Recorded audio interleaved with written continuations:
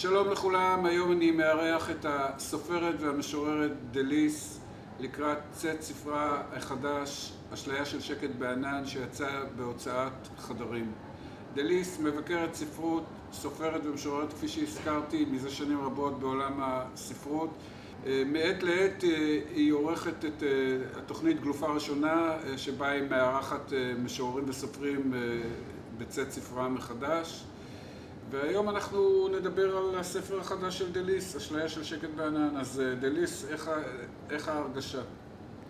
זה ספר שירה שנכתב אחרי הרבה זמן שיצא ספר שירה. בין ספר השירה הזה לספר השירה הקודם יצאו ספרי סיפורים, אחד מהם גם בהוצאת חדרים, וזה חומר שנאסף הרבה מאוד שנים. זה שירים שאני אספתי כבר עשר שנים. אני לא מוציאה ספר שירה לעיתים קרובות כדי להתחדש, כדי לא לחזור על עצמי, כדי שיהיה דברים חדשים, אירועים חדשים, הרגשות חדשות. אז זה חומר שנאסף אחרי הרבה שנים. הספר הזה מכיל שלושה שערים. בהתחלה יש לי שירי הגות, שירים עם הגיגים, שירים עם... אני מסיטה את המבט טיפה אל הטבע ונותנת חפיפה בין הטבע החיצוני לטבע הפנימי ואלה השירים הראשונים. יש שירים גם על הקורונה, יש שירים על המשפחה, זה שירי הבית. השער השני, אני קוראת לזה, להם שירי הבית. השער השלישי הוא שירים, פתקאות אגב אורחה ופתיתים. זה שירים יותר קצרים, אמירות, מכתמים. והספר הזה הוא מאוד עני, מאוד משקף אותי. אני רוצה לקרוא את השיר הפותח, את הספר. השיר הפותח את הספר, שיר שנקרא קולה של הדרך. זה השער הראשון, קולה של הדרך. אני אקרא אותו. קולה של הדרך שלא עמדה היקפיה, והוליכה שבילים ערפילי אינסוף, ואולי האדם שניצב בתקווה מול הקולות נשאר כי לא ידע הרבה, כי שמע כל חייו פעמוני געגועים להר אלוקיו, וכל מה שפעם חלם הפך לו לעד. קולו של הבית שידע לנצור קירותיו, מאגר חדריו מטמוני פלא, פועם והאדם, שהכיר בתבונה כל סדק ומשקוף, שר מנפשו את הקריאות הקטנות וחלומותיו עדים מרחפים. עיתים מחולות וזמירות, עיתים כתבי קודש חקוקים על קיר. זה השיר הפותח. מה, את זוכרת את היום הזה שכתבת אותו? מה, מה הוביל לכתיבת השיר הזה? הרבה מאוד שירים שלי, האמת היא השירים שלי נכתבים לא, לא כשאני עומדת מול הטבע. השירים שלי נכתבים מתוך החדר. ותמיד, בהרבה, בהרבה מאוד שירים יש לי את העניין שאני יוצאת החוצה וחוזרת הביתה. יוצאת, גם פה יש. יש את קולה של הדרך, ואחר כך הקירות של הבית. יש את החוץ, ערפילי אינסוף, ואחר כך אני מתכנס, מתכנסת לתוך החדר. אז uh, השירים נכתבים מתוך החדר שלי. אני אף פעם לא כותבת בחוץ, אני כותבת בתוך החדר. שהמבט הוא החוצה. כן, אבל מה היה הטריגר לכתיבת השיר? מה זה, מאיפה, היה איזה זיכרון, משהו ש... לא, הטריגר שלי הוא כל הזמן החוצה, פנימה והחוצה, פנימה והחוצה. אוקיי. כן, ודאי שהיה, הקולות של הבית, יש לי עוד שיר אחד, הבית הישן, שמדבר על סבתא, והקולות של סבתא, והריחות של סבתא, והבישולים של סבתא. מאוד הבית, אז זה הטריגר. כן. למעשה, חלק גדול מהספר, זה, את מביאה פה איזו תמונה כללית של צביון של העם שלנו כיהודים, יש, משפחתיות, יש. כל מה שקרה בתקופת השואה, זיכרונות של אבא, של אימא. את מביאה פה דברים מאוד אישיים כן. וחזקים עם תיעוד של מצבים ש, שחווינו אותם, כאילו גם. באופן אישי, אבל גם באופן כללי כעם. כן, אני מאוד, יש הרבה שירים שאני מתייחסת לשואה, לשואה צלוניקי במקרה שלי, לסבתא שלי שהייתה מהגרת מיוון, שהיגרה לארץ, ואני מתארת את ההגירה הזאת, את אבא שלי שהוא שורד שואה, לא כי הוא היה במחנות, אבל הוא היה איתך באתונה בזמן המלחמה. ודאי, אני נוגעת בכל, בשורשים שלי, אני נוגעת הרבה במסורת אה, שלנו, בוודאי. אם אני מדברת על משפחה, אז משפחה זה מסורת, משפחה זה מה שההורים שלי עברו. אז יש שיר על המהגרת שהיא סבתא שלי, ויש שיר על תמרה התופרת שהייתה עם הטלאיה, היא הייתה עם הזרוע, עם המקועקע במספר שלה. ודאי, אני, אה, אם אני כותבת את עצמי, אז אני כותבת את המשפחה שלי. כן, כמה זמן עבר מהספר השירה הקודם שלך לספר הזה? אני חושבת שאם נחשב, אני רואה פה מאחורה, עשר שנים בערך. בערך עשר שנים? זאת אומרת, והשירים... הספר, אה, לחזור ולגעת היה ספר השירה הקודם שלי, 2013 הוא יצא.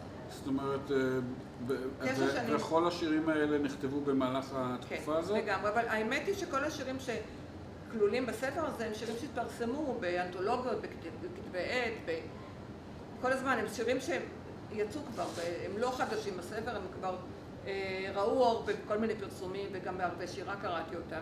כן. טוב, אני רוצה עכשיו אה, לדבר איתך, אה, דליס, על העטיפה של הספר ושם הספר, שאני בחרתי אותו מתוך השיר אשליה של שקט מהשער השני של הספר, שירי הבית. ורק ככה לציין שהצילום של השער זה של דוקטור נורית סדרבוים, ואני זוכר שעבדנו על השירים, ככה עברנו שורה שורה וקראנו בזמן העריכה, אמרתי לך, זה שם של הספר. אני זוכר שברגע הראשון היה לך היסוס, אבל די מהר השתכנעת כי לא מצאנו חלופה לזה. האמת היא שאני הצעתי את השם קולה של הדרך. כן. וזה היה השם ש... זה היה השם הראשון שהצעת. וכשאתה הצעת זה היה מאוד מפתיע, כי זה לא שם שגרתי, זה ארוך, וזה אנגמטי. אבל אני שכנעת אותי, כי זה באמת, אה, ואני, וצדקת, כי השם מאוד אה, נתפס. אני אקרא את השיר אשליה של שקט, את הבית הראשון בלבד. אשליה של שקט בענן, מול עיניי ים, זרימה בוכה על הפנים של הים.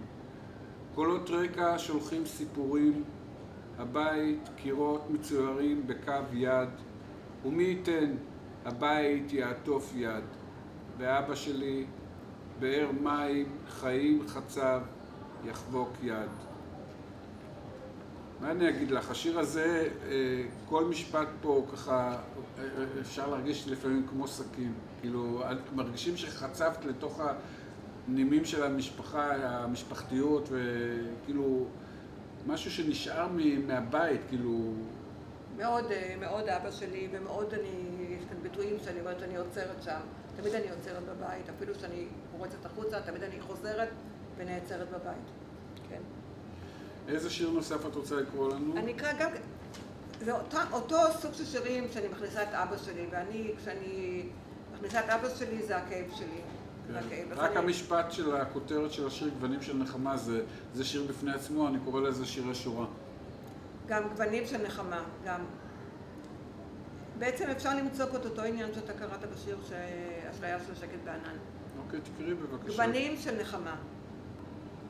בשער, עיניים, עיניים, אני רואה רק את מה שאני מחפשת. האם נפרוס כאן זרועות? האם לגשת קרוב? אני הולכת לאט. העיניים של אבא אינן מסתכלות עליי. הליכה כזו איטית לא מצביעה ניצחון, ואני מסיטה עצמי ממשהו חסר ערך.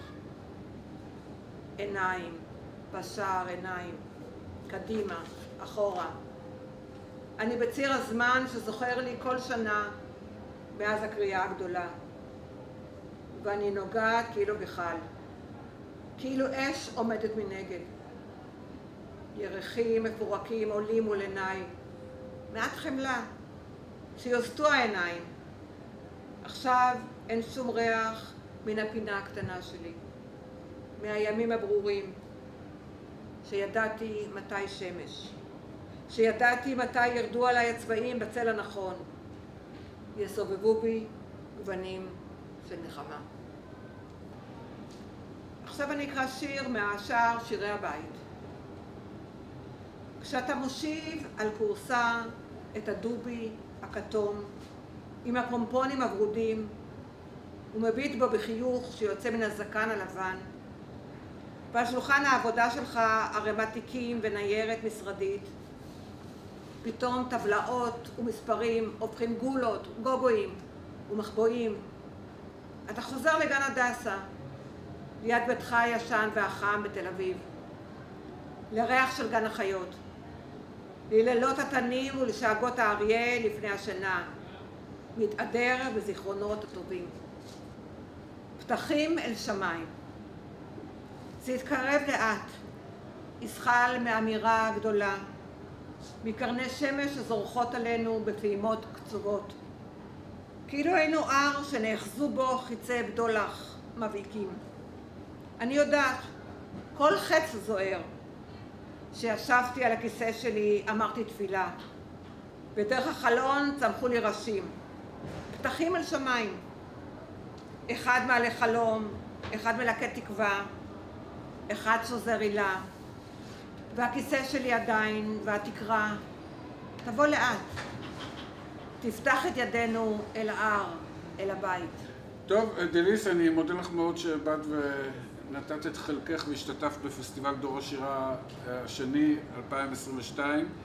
אם יש לך משהו לסיכום לומר, אז אני אשמח לשמוע. תודה רבה לך על הפעילות שלך, על העבודה איתך, על הספר, על כמה ספרים בעצם. אתה מקיף את השירה העכשווית בארץ, אתה מקיף הרבה מאוד יוצרים, וזה מאוד, מאוד יפה.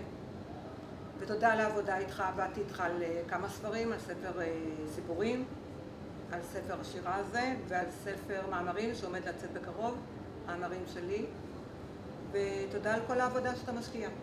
תודה לך, דליס.